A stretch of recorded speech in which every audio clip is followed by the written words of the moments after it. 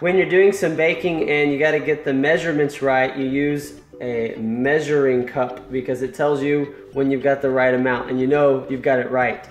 It says in 2 Corinthians 10 12, but they measuring themselves by themselves and comparing themselves among themselves are not wise. In other words, it is not wise, it's not smart to look at yourself and then look at somebody else and go, you know, I'm doing better than them. I'm doing pretty good. Or to even look at yourself and go, you know, I did better than yesterday. I should I'm doing pretty good. Instead, what we should do is look in God's word and look at Jesus and compare ourselves to that. To say, what did Jesus teach me? And am I living up to that? And if I'm not, then I can measure up, I can change and do better.